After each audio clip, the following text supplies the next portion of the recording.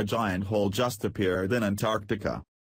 And scientists have no idea what's causing it. Something strange is happening in Antarctica.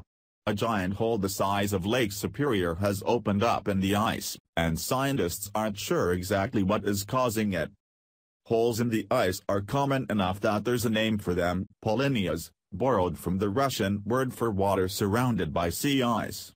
But this particular polynya is unique for two reasons. It's very large, and it's located far away from the warmer ocean water. This is hundreds of kilometers from the ice edge, said atmospheric physicist Kent Moore to Motherboard. If we didn't have a satellite, we wouldn't know it was there. Most polynyas are easy to explain. They tend to form when a current of warm ocean water from underneath the ice melts a small amount, forming a region of no water. But this polynya is so far from the coast that it's unlikely to have arisen in this way. This particular polynya has also appeared in this location twice before, once last year and once in the 1970s. This means that whatever is causing it has some sort of repetitive nature, which could help scientists uncover what is happening.